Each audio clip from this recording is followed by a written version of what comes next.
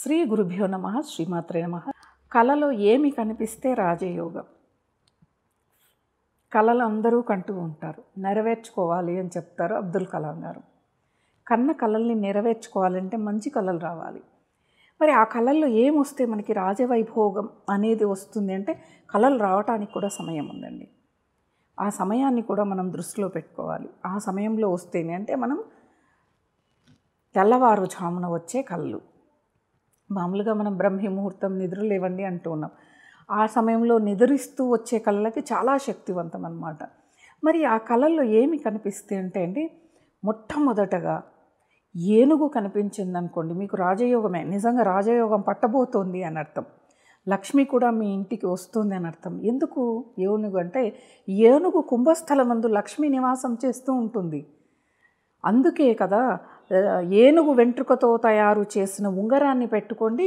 లక్ష్మి అనేది మీకు అలా ప్రవాహంలాగా వస్తుంది అని చెప్పి చాలామంది ధరిస్తూ ఉంటారు. ధరించిన వాళ్ళు చాలా చాలా ఐశ్వర్యవంతులయ్యారనమాట కాకపోతే ఇంకోటి ఏనుగు కనిపించినప్పుడు ఏనుగు వెంట్రుక పీకడం కాదండి. అలా దాన్ని హింసించకూడదు. దాని నుంచి రాలి పడిపోయిన వెంట్రుకలతో మనకు తయారు చేసినవి ఉంటాయి. వాటిని ధరించండి.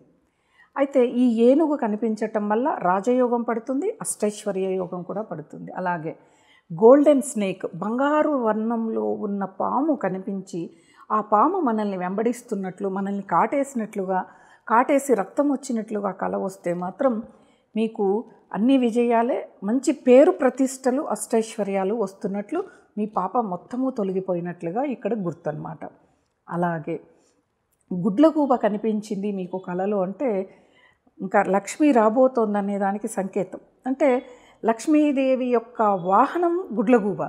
ఆ గుడ్లగూబ మనకి కనిపించింది అంటే లక్ష్మీదేవి వచ్చే ముందు వాహనాన్ని మనకి అలా నేను వస్తున్నాను అని చెప్పి చెప్పడం. అంటే ఇప్పుడు మనకి ముఖ్యమంత్రులు ప్రధానమంత్రులు ఎవరైనా ఎమ్మెల్యేలు ఎవరైనా వస్తే ఏదైనా ఆలయానికి వెళ్ళేటప్పుడు లేకపోతే ఏదైనా శుభకార్యానికి వెళ్ళేటప్పుడు మేము ముందు వస్తున్నాం అని చెప్తే అలర్ట్ అయ్యి ఉంటారు కదా. అక్కడ సెక్యూరిటీ ఏర్పాటు చేసి. అలా లక్ష్మీదేవి తన వాహనమైన గుడ్లోగూబను పంపిస్తుంది మనకి. కళలో కానీ మన చుట్టుపక్కల కనిపించినా కానీ మనకి ఐశ్వర్యం వస్తుంది. లక్ష్మీదేవి రాబోతోంది ముందుగా వాహనాన్ని పంపించింది అని చెప్పారు భయపడకండి గుడ్లగూబ కళ్ళలోకి వస్తే చాలామంది భయపడతారు. ఎందుకంటే దాని అరుపు భయంకరంగా ఉంటుంది దాని రూపం భయంకరంగా ఉంటుంది.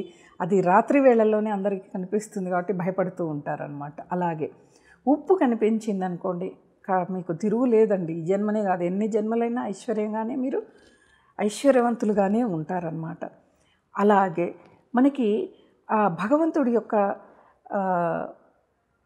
తిరుమల వెంకటేశ్వర స్వామి ఉన్నాడు. ఆయన ఆకారం మనకి కళ్ళలో కనిపించినా కూడా మనకి కలి బాధలు అనేవి ఉండవండి. కలి బాధలు చాలా భయంకరంగా ఉంటాయి. మర్యాదగా ఉన్న వాళ్ళని మర్యాదగా ఉంచరు.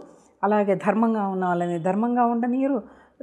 నిజం మాట్లాడే వాళ్ళని నిజం మాట్లాడేవారు అబద్ధాలే చెప్పాలి అన్యాయంగానే ఉండాలి. అలాగే వాళ్ళని హింసిస్తూనే ఉండాలి. ఇలాంటి కలిబాధలనే అనేవి ఉండవు. వెంకటేశ్వర స్వామి కళలో మనకి కనిపించాడంటే అలాగే దీనికి ఇంకో సంకేతం ఆయన వక్షస్థలంలో లక్ష్మీదేవి ఉంటుంది కాబట్టి లక్ష్మీ సమేతుడైన వెంకటేశ్వర స్వామి దర్శనం ఇచ్చాడనుకోండి మీకు కలియుగ బాధలు ఉండవు మనకి ఐశ్వర్య బాధలు అంటే ఐశ్వర్యం లేకపోవడం వల్ల వచ్చే బాధలు కూడా ఉండవు అన్నమాట కాబట్టి ఇలా ఎన్నో సంకేతాలు ఉన్నాయి కళ్ళలోకి వచ్చేవి. ఒకవేళ ఈ చెడు కళలు వస్తే ఏం చేయాలనేవి కూడా నేను మరలా వీడియోస్లో చెప్తాను. స్కిప్ చేయకుండా వీడియోను చూస్తే మొత్తం సమాచారం మీకు అందుతుంది. స్వస్తి.